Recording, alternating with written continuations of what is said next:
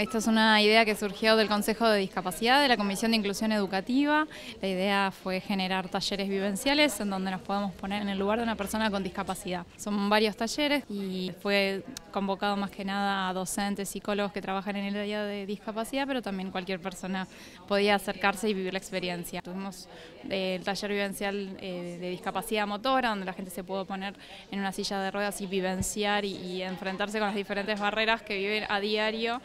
y también tenemos el taller de discapacidad visual donde recorren, simulan una ciudad y donde pueden recorrer a ciegas y saber lo que es ponerse en el lugar de una persona con discapacidad visual y así varios talleres más que pudieron vivenciar las ciento y pico de personas que estuvieron hoy. A mí me generó el taller de disminución eh, visual, me generó empatía real y te explico por qué. Porque hemos, el espacio está totalmente eh, preparado para que uno, que puede ver desde lo cotidiano todos los días y que pasa por alto tantos detalles, eh, digamos, vivencie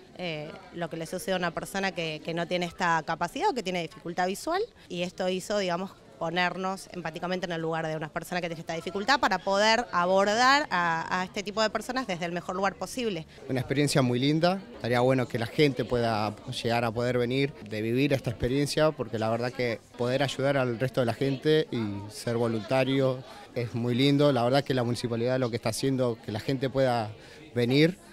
pueda venir a esta experiencia y reconocer los hechos que, se da en la vida, la verdad que es muy bueno y que los invito también a que vengan a vivir la experiencia esta.